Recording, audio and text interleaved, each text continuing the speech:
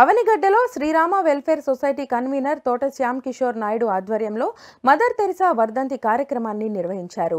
స్థానిక ప్రభుత్వ ఏరియా ఆసుపత్రి వద్ద విశ్వమాతగా పిలువబడే మదర్ తెరిసా విగ్రహానికి శ్యామ్ కిషోర్ పూలమాల వేసి నివాళులర్పించారు.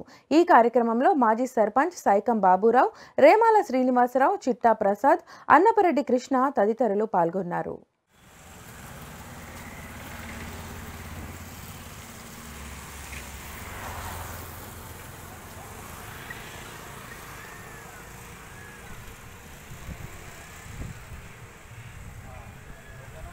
ఓకే ఓకే మాట్లాడండి వచ్చింది.